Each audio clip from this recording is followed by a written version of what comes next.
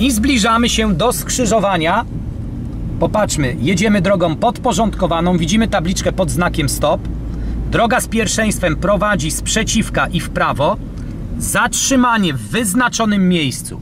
Tutaj mamy linię zatrzymania. Upewniamy się. Ustępujemy pierwszeństwa